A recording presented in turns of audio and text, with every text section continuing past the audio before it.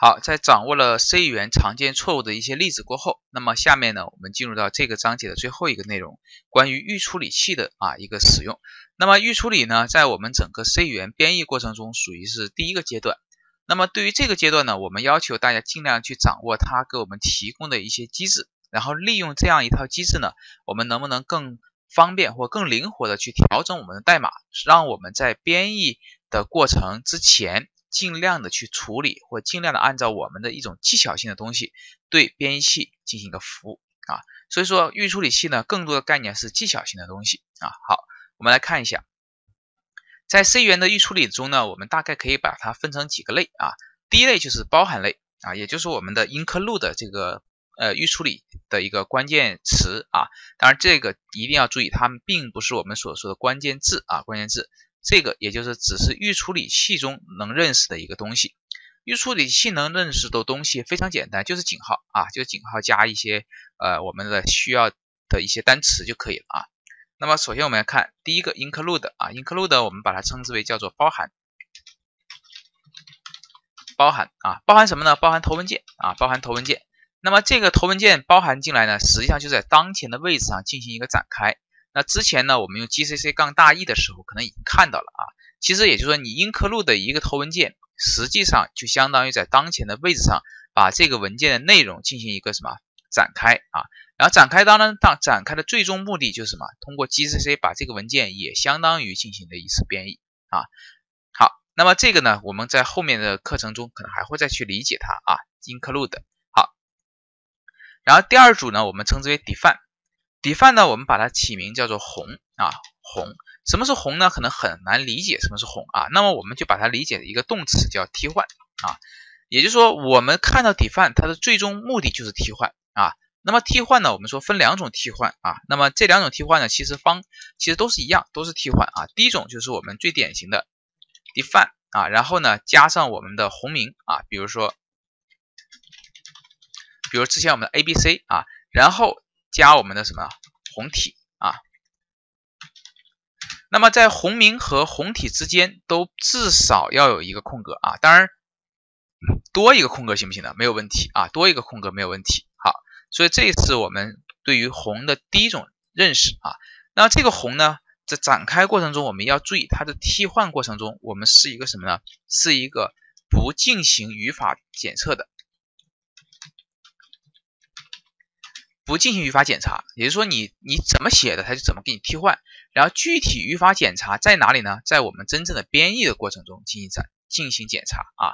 所以说这个地方大家一定要小心，就是说你的红体可能由于粗心马虎啊写错了，或者说呃写的不是很规范，那么这个时候我们是不进行相应的语法检测，直接替换，那么很有可能会导致我们程序最终在最终的翻译过程中。这个由于你的这个失误啊，导致最后编译器认为是个错误啊。那么这个最点最简单的方法就是什么？括号啊，就是因为我们在红展开的时候可能会出现一些什么一些优先级的问题啊，所以说我们一般养成习惯，你也不用去呃去特别在意啊红红名和红体之间的语法关系，你就你就养成习惯什么加括号啊，加括号，然后呢，然后让我们的这个程序啊稍微呃变得比较。呃，就是让这个红体啊，让这个红体可以可以更加的安全啊。当然，这个例子是非常简单，我们这儿不进行不进行演示啊。我们给大家举一个，就相当于我这儿 define，比如说我定一个 a b c 还是 a b c 啊，但是呢，我定义的是一个五加三啊这样一个红体。那这个时候，如果说啊，如果说我现在呢的初衷，比如说 printf。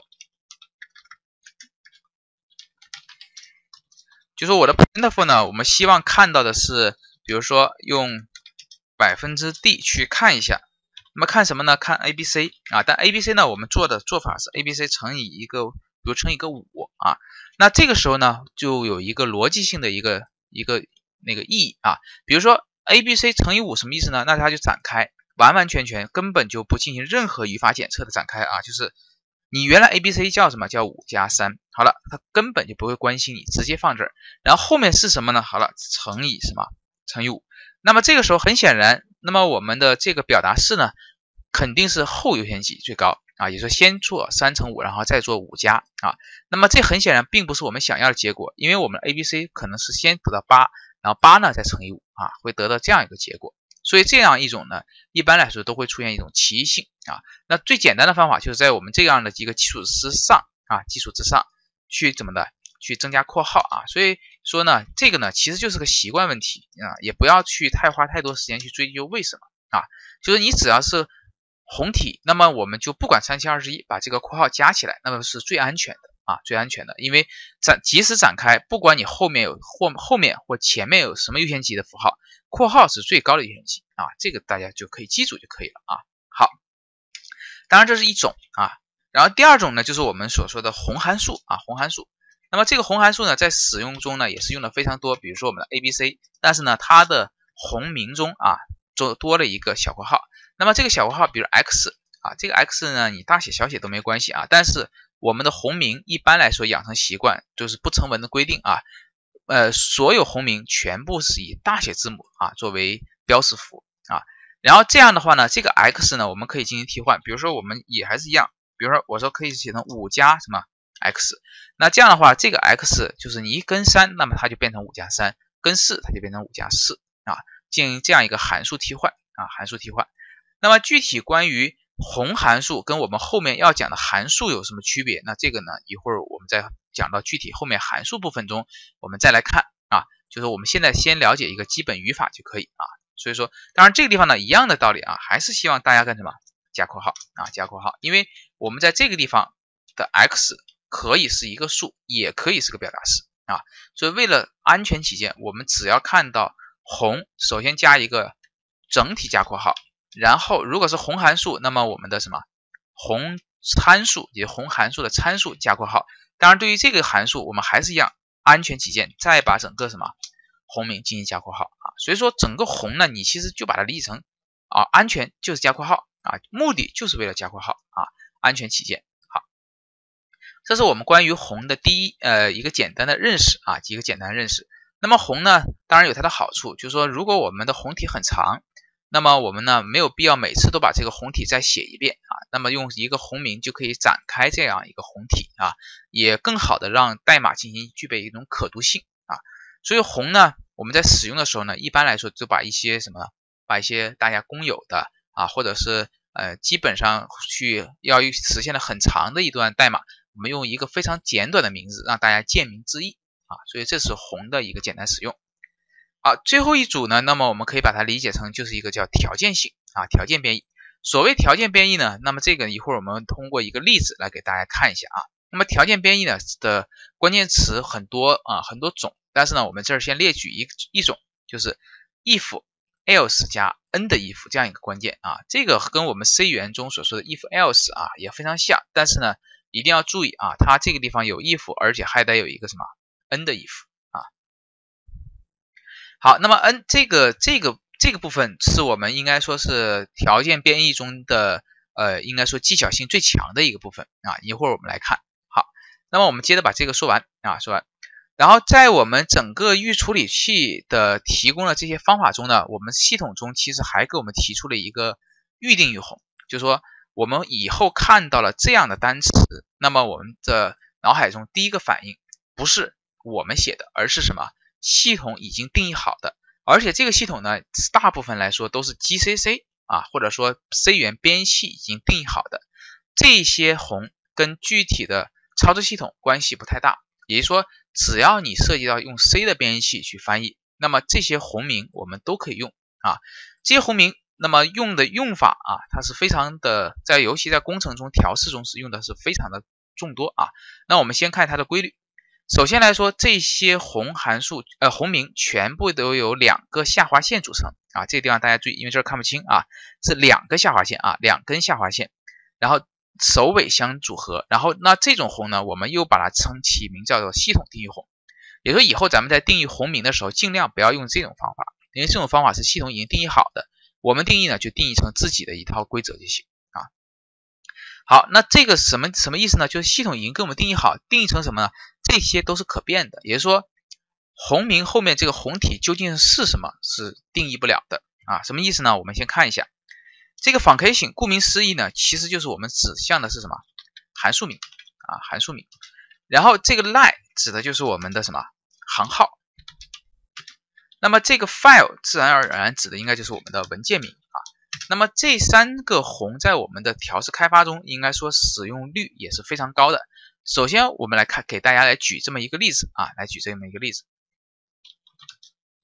比如说我们现在换一个啊，我们叫做零零二点呃点 c 了啊，点 c 了啊，然后我们还是使用标准的啊一个打印信息，我们来看一看咱们最终的一个现象啊。好，还是 printf 啊，还是 printf 进行打印一下。我们来看，首先来说，我们要想把这几个几个变量啊，因为大家知道，一个是记住这个地方是个大写字母啊，function 下划线啊，然后我们的呃 file 啊，然后我们的一个呃 line 啊，我们来看看这三者啊，三者之间的关系。第一个 function 呢，那么啊这个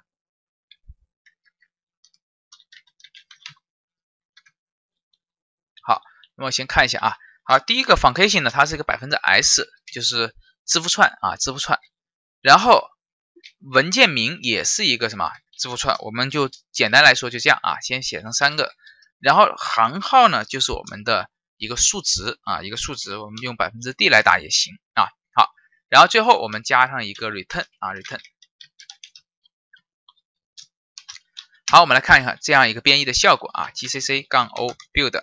零零二点 c 啊，好，那么这时候编译没有任何报错啊，没有报错，大家可以看到很奇怪啊，就是说，按理说我们用什么，你之前应该先定义，对不对？然后我们再使用，但是我们这个地方是可以直接什么，直接使用的啊。那好，我们先看一下，build 一执行啊，非常奇怪，看 mail 出来了，零零二点 c 这个字符串也出来了，五这个东西也出来了，什么意思呢？你看这个 mail 恰好就是我们这个函数的名称啊。然后呢，我们的零零二点 c 呢，不就是我们刚刚编译的这个原文件吗？对不对？而 line 这个地方是行号，那如果说我们数一下，一二三四五，哎，这行刚好是第五行，看到没有？所以说，也就是说，这三个红其实都是在编译之前，是不是确定你这一行的信息的一些什么一些字符串啊？那这个有什么好处呢？我们先来理解一下啊。这个好处在我们的这个文件看不出来啊，但是如果在我们的工程中，如果是多个人多文件编程，甚至来说咱们的代码集量非常大，可能有几千行啊，甚至上万行，甚至呢有几百个文件啊进行一个编译的话，那这个时候一旦出错，或一旦你打印一个打印信息来调试你的程序的时候，那你怎么来保证是我打印出来的结果，还是别人打印的结果呢？好，这个时候我们可以在调试信息之前加上这三个红的一个什么一个说明，那么这个函数刚好就告诉你了。如果这句话执行，那么这个地方的关键字就恰好是什么？这个函数名。那么刚好呢，如果是这个句话执行，自然而然也就是在哪一个文件上就看得到。然后甚至来说，这个文件的第几行是不是也能看得到啊？如果说这是个错误信息，那很明显我们就会很容易的去找到文件的第几行或者是在哪个函数出的错啊。这样呢，对于我们调试开发来说，应该说是。啊，非常非常的方便啊，非常非常方便。好，那么再把这个例子稍微再改进一下，咱们再来看啊。比如说，我现在把这个函数咱们不叫 fun 了啊，呃，不叫 mile，我们叫 fun。然后呢，我们调用我们的 mail 函数啊，mail 函数去执行 fun 啊，执行 fun，我们来看一下啊。然后呢，为了把这个地方我们再加点别的，比如 int a 啊，这行号自然而然就改变了。好，我们再来编译一下。好，那大家看这个地方的第一个关键词也变了啊，function 的第一个关键词 fun，然后第二个呢就是我们还是这个文件名没有变啊，但行号又发生改变啊。所以这样呢，我们通过这三个预定义宏啊或者预定义宏，可以在我们的调试程序中啊，可以快速的定位我们的呃到底是在哪一行执行的。这样的代码啊，所以这三个宏呢，呃，主要在我们的调试中会使用啊，这个呢是希望大家能够把它记住啊，或者说我们能够灵活使用就可以啊，灵活使用就可以。